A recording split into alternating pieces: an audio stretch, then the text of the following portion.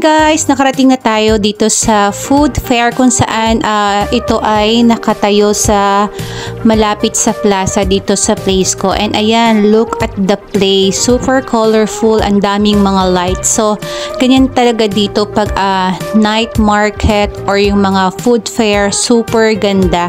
And ayan, ito yung una nating makikita. Hindi ko alam kung anong um, ano to, drink siya na nakalagay sa syringe, ganon. And ayan, meron ding mga strawberry na nakikita sa Japan or Korea, yung mga nakakutad siya ng sugar. And ayan, super sarap na, nag-try kami nan. And ayan, so dito sa food fair, uh, makakakita din kayo ng mga ano, ng mga clothes. Marami ditong tinda, hindi lang food.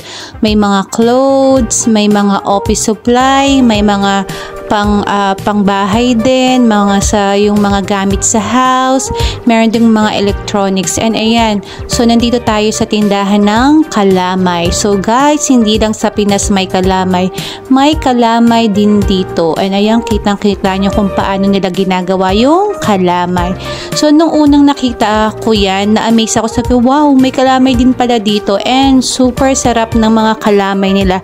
Iba-ibang flavor, may taro, may yung normal lang, may pandan flavor, marami. And ayan, may mga kanom din dito. So, yung kanom guys is, ibig sabihin nun ay mga dessert. So, ayan, marami din ditong mga pang-ulam. Ayan.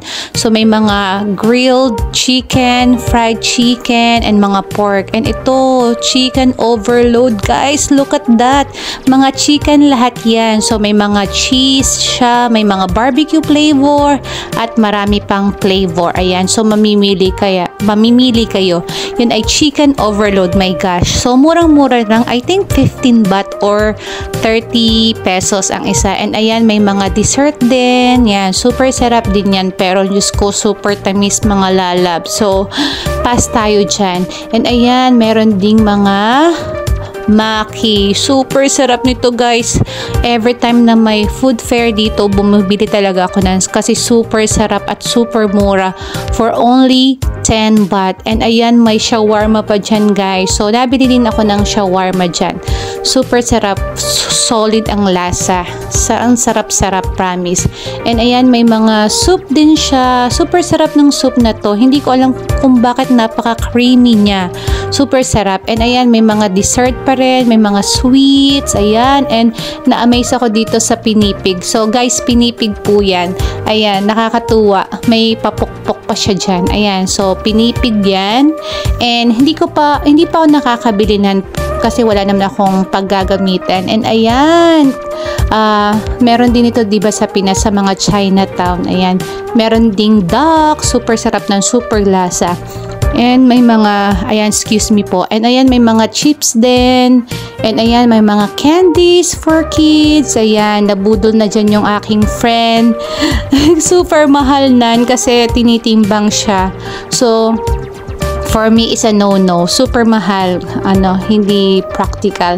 And ayan, may mga chicken pa din dyan. Super sarap. Look at that. And this one, oh my God! Pork ribs. Super sarap. My God, look. And mga yan, donuts pa rin, mga dessert. Maraming dessert mga lalabs. Ah. Meron, marami din namang ano, mga pang-ulam. And ayan, tulad nan, o, oh, diba? Super sarap din nan ninyong mga pork intestine. Sarap bitukan ng baboy. Ayan, another tindahan ng chicken. Ayan. So, dito I think 10 baht lang yung chicken dito. Pero super sarap din. And one day old. My God! Poor chicken. Poor bird. Ayan, one day old chick yan. And ayan, meron din ditong salapaw or siopaw. Oh my God! So, dito ako nakakita ng siopaw na ganyan. And walang sarsa, kahit walang sauce, malasa na. And siomay, ayan. So, meron din ditong durian na super mahal. Ewan ko ba kung bakit napakamahal ng durian. And ayan, so nakakatikim lang ako ng durian pag may nagbibigay. Yes, mahal. Hindi ko kayang bumili. ayan, meron din ditong mga, anong tawag dito? Octopus, I think. Mini octopus, ayan. So, hindi ko pa natatry, pero next time. Ayan, itry natin. Ayan, may mukrop.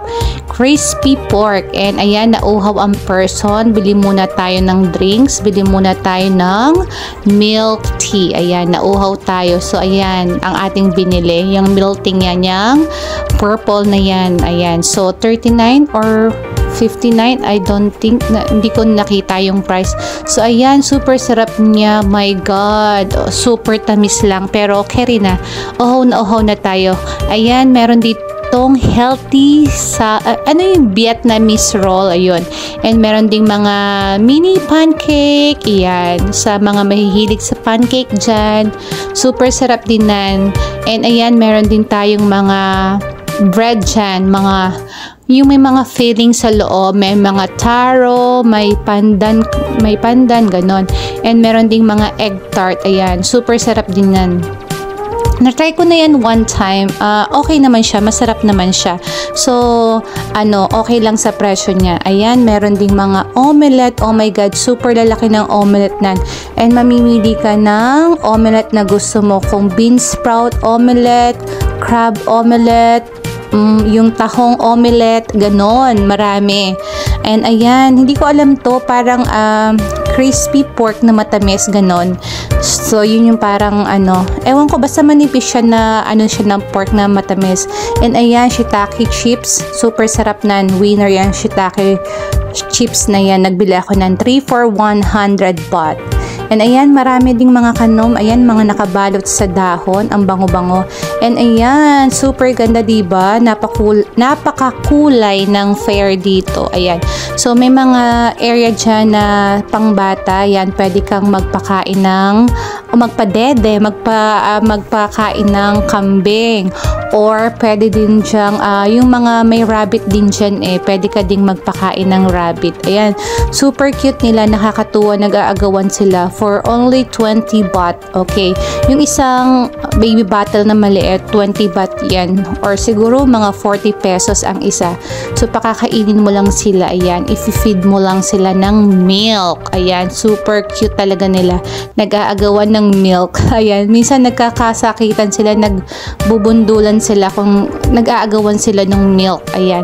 Super cute. Nag-enjoy din ako dito sa pagpapakain ng uh, kambing. And ayan, meron ding mga rides. Parang Pinas din naman mga lalabs. So ayan, may mga rides for kids. Ayan. So ang nag enjoy talaga dito sa mga rides na to mga bata, of course, di ba?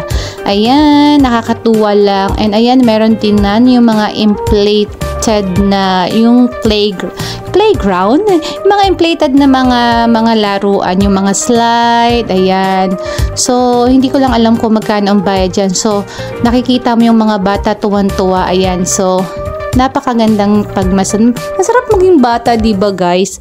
So ayan nakakatuwa. 'Di ba ang colorful ng kanilang ano inflated na ano na mga slides and everything. Ayan. So enjoy lang mga bata mag-enjoy habang bata. Ayan.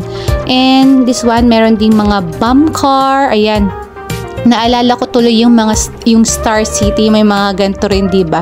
Yung mga bump car, favorite na favorite ko tong bump car na 'to, 'di ba? Ayan, so enjoy lang. So 'di ba mga bata ang nag-enjoy sa mga mga rides na ganito. And ayan, sige lang, enjoy mga kids. Ayan, ingat-ingat drive safely. Ayan, so nakakatuwa naman. And hindi ko alam kung anong kasunod. Ang hirap mag voice over talaga. Iniintay mo pa ano. And ayan, meron din tayong Ferris wheel, merry-go-round. Nakakatuwa. Pero nakakatakot. Na-try ko nang sumakay dyan one time pero hindi ko na uulitin. Pero okay naman, nakakatuwa. And ayan, super colorful, 'di ba? Super liwanag ng plaza ng place ko. And ayan, itong Tagada, medyo kokonti ang sumasakay kasi parang nakakatakot. Meron din ito nung sa napapanood ko sa internet, yung talagang naka tumatalbog yung mga sakay kung hindi ka nakahawak ng maigi sa sa reha. So, aya ko yan. So, parang for me, delikado, isa no-no. Tamo, look, yan, iniikot ka dyan hanggang sa tumalbog-talbog ka dyan. May napanood na ako sa internet na ganyan. Ayan, so meron pala dito and kukonti ang sumasakay siguro nga natatakot. And ayan, kahit ako hindi ako sasakay. Pero yung mga student ko sumakay kasi nakita ko sila one time dyan, nakasakay sila. And happy daw, sanok-sanok daw sabi nila. So sanok-sanok means happy, fun, ganon.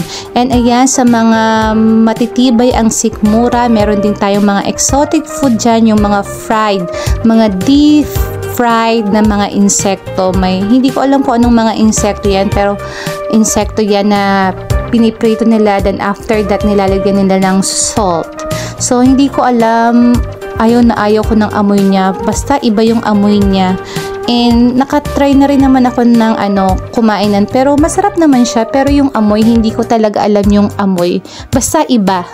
Pero once na natikman mo naman, okay naman siya. Pero ayaw ko yung iba. Ang natry ko lang dyan yung maliliit lang. Yung kaya ko lang lunukin pag hindi ko na siya kayang nguyain. Pero yung mga malalaki like apis, yung mga scorpion, nako hindi pa.